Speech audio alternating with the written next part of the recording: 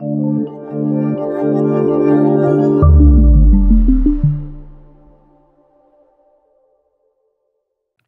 Dynamic Disc Commander Bag is the backpack bag that's going to change the game. Let's take a look at some of the features.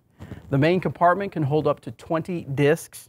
Then we also have a pockets on here for uh, vertical pockets where you can store things like your putter. We also have a spot for your mini.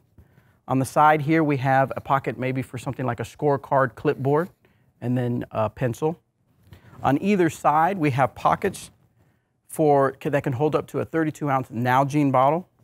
We also have extra pockets on the side for things like wallet, keys, cell phone, or maybe a dirt bag.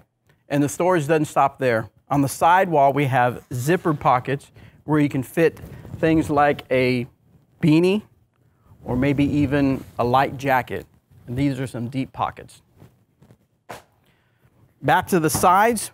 On this side over here, we have a loop here for a towel clip or maybe even a bag tag.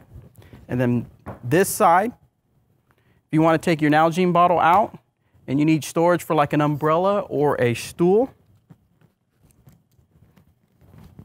you can fit it right in there and take it out on the course. We also have five molded plastic feet at the bottom. Let's take a look at the back here.